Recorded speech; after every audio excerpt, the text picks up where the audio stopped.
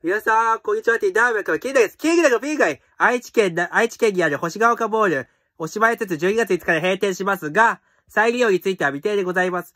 なお、閉店セールやそうです。古いピンがお買い得でございます。さらに、さらに、記念に残るものもそうですが、小学校部、中学校部、高校部、社会人の部の、あの、ハイゲーム大会もございます。はい。さらに、さらに、星ヶ丘の、あの、最後のチャレンジマッチ、最後の大会がございます。私、愛知県行きたいけども難しいです。はい。星ヶ丘ボール、残念ながら閉店となりました。確かにね、公式試合でよく使われてますね。JPBA の公認大会によく使われている場所です。承認大会でも使われてます。はい。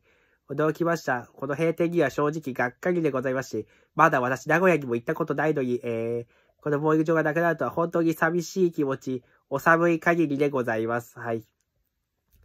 閉店セールスペシャル試合。の話を語りました。